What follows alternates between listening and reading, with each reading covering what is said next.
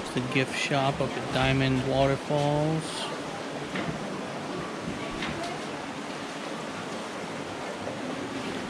There was a hummingbird over here a little while ago.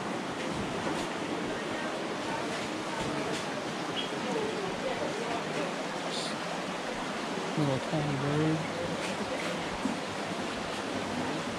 Not very afraid. ハハハ。